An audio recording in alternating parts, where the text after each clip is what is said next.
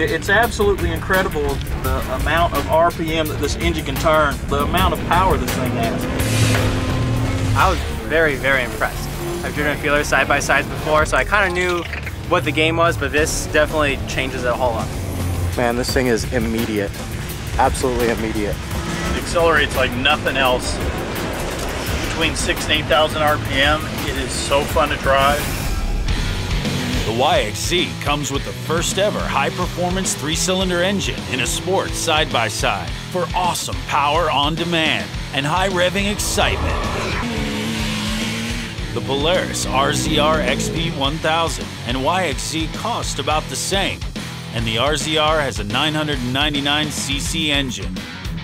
But it's a less powerful two cylinder.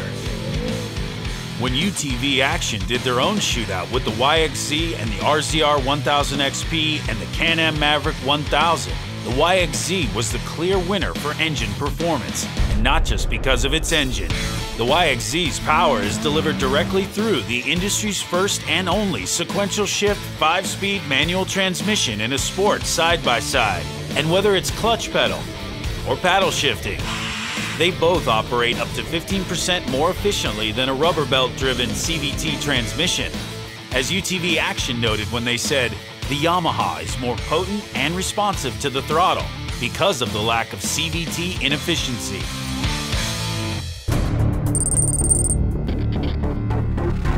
That uh, manual transmission, it adds a whole new dynamic to driving a pure sport side by side.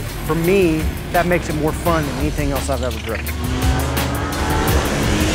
It was so much fun to drive. It was actually so easy to shift and just real fun to have that kind of control of the vehicle. Shifting was huge, especially when you go around a corner, downshifting, just hammering the gas gases, super awesome.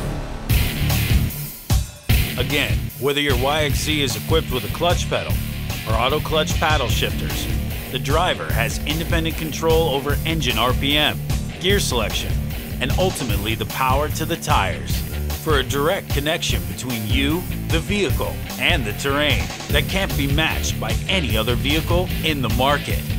The SportShift model also introduces several new transmission technologies, many of which have never been seen in a sports side-by-side.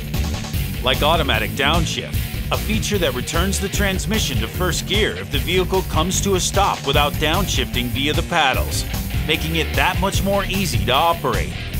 And full throttle shifting, so you don't have to lift off the gas between shifts.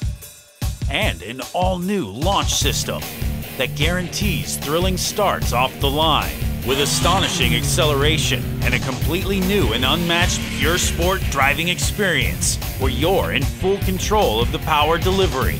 Both YXZs feature natural engine braking entering a turn, then plenty of power and torque coming out, blasting through twisty trails, both uphill and down, with the ability to use the full RPM range for a unique and exciting driving character.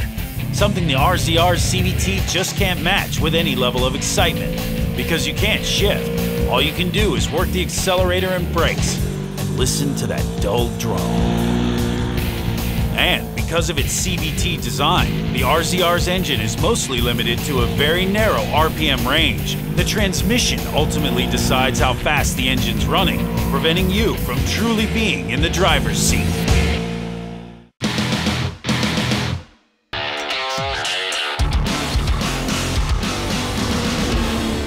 On loose or slippery descents, the YXZ's manual transmission also gives you natural engine braking, the RZR doesn't offer this feature.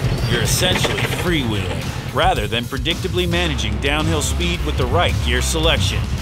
And if that's not enough, the RZR's CVT system's design allows the belt to slip at idle, and also generates tremendous heat when driven aggressively.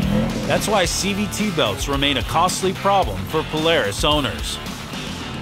In the end, both machines are powerful, but whether you choose the clutch pedal or paddle shifter, the YXZ lets you harness that power in a much more exciting way.